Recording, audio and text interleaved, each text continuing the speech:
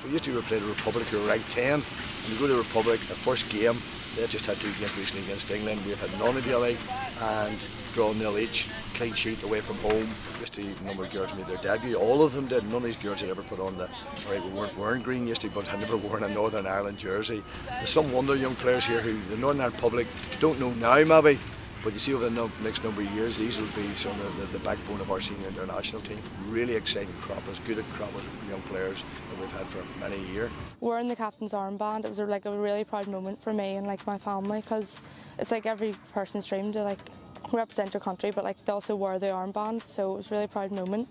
Everyone like has their own personal goals that we're all trying to achieve together as a team, and it's just in preparation for Serbia. And the meetings have been really good. Like Alfie's really got all of us like well prepared and like, well he likes to say buzzing, so we're all we're all buzzing.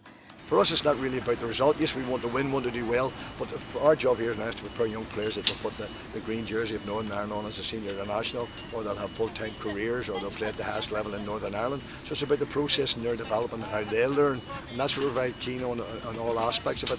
And so these girls have a great opportunity now in their development to be playing three top countries at such a young age. Know, we're literally straight into elite round, so fantastic experience for. For me, growing up, it, it was more street football. That's how you learn learned your skills back then.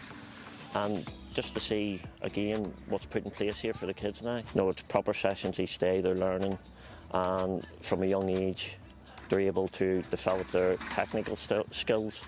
And as they get older, hopefully it, it's a platform for, for them to build on. I do feel that we have the right pathway set in place. Like by often know that a lot of us can achieve that dream because it's a lot of our dreams to play across the water in England. And I do believe that we have the right tools in place and just keep working hard. And I think a few of us could get there. So with four centres, with approximately 240 girls across the four centres, there's fantastic work going on. The girls are buying in it. Obviously, the success of the senior team is a great hunger and drive now and a lift in women's football, and we're delighted with that.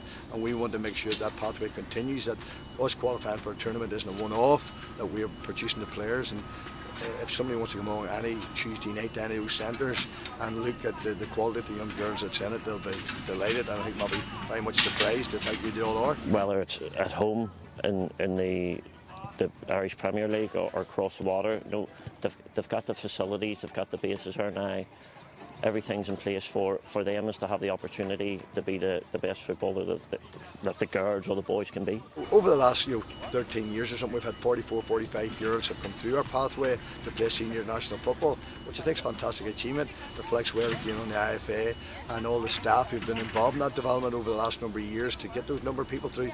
Some of the young players here now, it's fantastic to see, and I think there's a really, really bright future for Northern Ireland going forward.